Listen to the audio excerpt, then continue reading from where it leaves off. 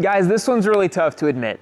And I'm not clickbaiting you. This is a real opinion that I've come to, and I will stand by it until it can be dethroned. I think this is the best naked motorcycle on the market.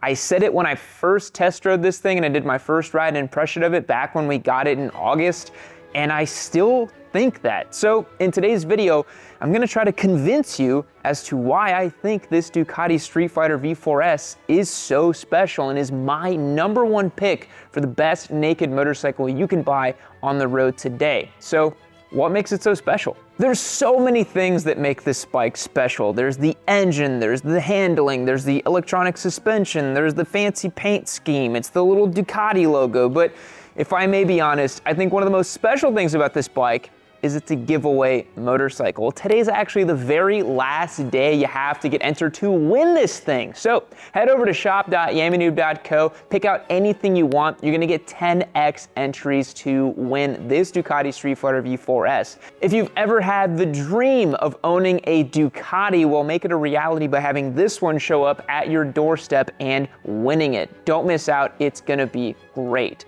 But let's get into that thing I mentioned first, the engine, because that really is the star of the show on this motorcycle. This engine is simply derived from the gods, and motorcycles, obviously as the name implies, are very related to the motors that are in them, and this one is really, really special. I've never ridden anything quite like this Street Fighter V4S. It's an 1103cc V4 with the Desmodromic valves, revving out to almost 15,000 RPM, making 208 horsepower and 90 foot-pounds of torque. Now, it's not to say that peak power and top end horsepower are the be all end all, but this is a really exciting package that is very unrivaled in the world of motorcycling because this thing is based on a Panigale V4 Superbike. And when I say based on a Panigale V4 Superbike, I mean that it basically is a Panigale V4 Superbike. And what's better than a Superbike with handlebars?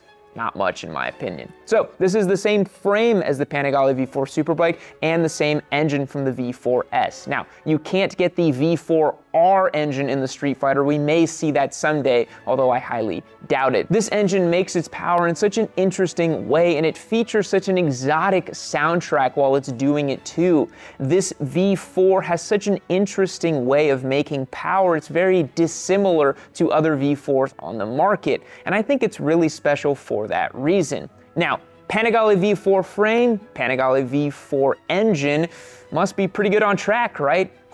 you have no idea. So as many of you know, I am a pretty die-hard track rat. I'm a CMRA club racer, I've been doing track days for years, and so whenever I review or enjoy a motorcycle, typically it's pretty good on track.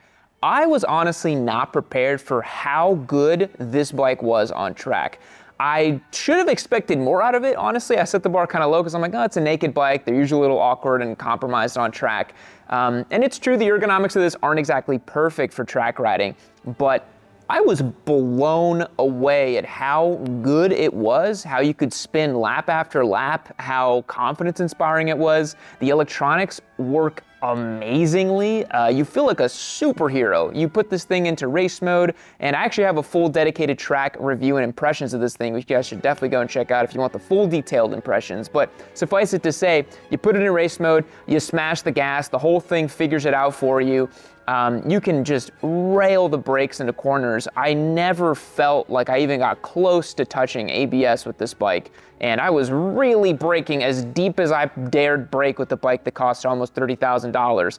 And the auto blipper works incredibly too. You rail the bike into the brakes, grab up on the auto blipper, or rather on this bike because it's standard shift to be grab on the auto blipper, and it just feels so good. I was blown away at how amazing this bike did on track, and I would happily own this as a track bike, which is silly to say because it's so good on the street too, which is my next point. So normally when a bike is really good on track, it usually kind of sucks on street. The other day I had to blow the cobwebs off of my race bike and I took it up and down the block here and I realized just how ridiculous it would be to have a race-oriented bike on the street. Somehow, some way, Ducati has figured out a way to engineer this bike so that it is so usable on the street. They've done some amazing wizardry to both the throttle response and the engine response so that low down in the revs and kind of around town, the thing is happy to poodle along and putt putt down the road to your favorite bar or restaurant or grocery store or whatever you need to do. And that is an incredible trick that Ducati has played. The fact that this thing gets up to 15,000 RPM and feels like a race bike on track, and yet you can take it on the street and it feels so nice to ride. Normally, liter bikes and top end and super high horsepower bikes, when you're lugging them around town, they are not happy. The gears are really long, the bike is just kind of lurching and begging for you to just get on the gas and go. Whereas this thing is actually pretty comfortable and happy doing the normal street stuff. Also, the electronically controlled suspension works amazing to dial itself in for bumpier road conditions. You can put it in kind of a standard comfort setting and it'll just kind of figure everything out for you. So the fact that this thing is so streetable really blows my mind. Also, it just looks really nice too. For me to really love a motorcycle, there also has to be look back factor. And my God, does the Ducati have look back factor. Every time I've pulled up to this thing somewhere, I swing a leg off of it, I always take a look back at it. I love seeing the Ducati logo right there, all the winglets, the red. I just really love the way this thing looks, and that's really important for me to really fall in love with the motorcycle, and it is why it is my number one pick of my favorite naked bike of all time. Um, I will talk about some of the competitors later in this video, and some of them are a little bit uglier and unfortunately aren't as naked, thinking about a certain Italian manufacturer. That's the really cool thing about this bike too. You notice it is a proper naked motorcycle. The headlight moves with the forks over here. That is cool. I don't want a motorcycle that is kind of naked if I'm gonna get a naked motorcycle. And ultimately, I just love the way that this thing looks. It looks so cool. The fact that it's got this stumpy little tail, the kind of Alcantara seat material here, the big bronze exposed engine, everything about it is just top notch. And when I see it from a distance, I just think it looks incredible. But looks aren't everything. Let's talk over the competitors to this motorcycle. Okay, so there is an elephant in the room, or rather maybe three elephants in the room, and that's the fact that there are several other naked bikes that throughout the years I have said that I adored and were my top favorite ever. Now, I'm of the opinion that you can change and evolve and adapt as a human being, and your opinion does not have to be fixed in time for the rest of your life, and that's what I have done. So let me talk about three competitors to this bike that used to be kind of my kind of top end favorite bikes. The first one obviously is the ZH2. I have sung praises about the Kawasaki ZH2. I adore the motorcycle. I think it's one of the silliest, goofiest, funnest street naked motorcycles you can buy. It's got a crazy supercharger, flutter, and whistle, and all that good stuff. Really enjoyed that motorcycle. It's very special. There's not many supercharged naked bikes. In fact, there's just the one.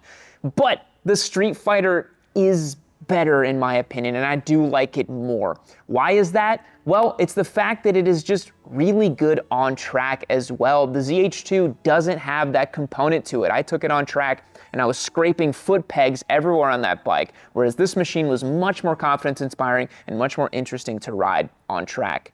This machine is also much lighter than the ZH2. The ZH2 is a big, fat, heavy pig. And while that can be very fun, it does kind of succumb to the Hayabusa effect. And it's just this big, fat, beefy bike. And sometimes that is fun, but ultimately, for my tastes, I do prefer something a little more svelte, a little more fun, like the Street Fighter V4S over here. So I do think that this bike, with its exotic sound and the way it handles and how good it is, does edge out the ZH2 a little bit.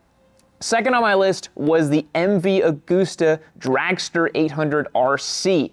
This was a really bonkers motorcycle. We had it as a loaner bike for a little bit, and I really liked it, okay? So it features the same frame and engine from the 800 uh, Super Sport bike, the FC3 that uh, MV Agusta makes and um, triple cylinder engine, 800 uh, cc's, about 150 horsepower, so really zooted up. It famously dethroned the Hayabusa in a straight line, and we were able to race both the bikes. And I thought the bike was just amazing. Really nice to ride, had a lot of panache, really exotic, really bespoke, really had a lot going on with it.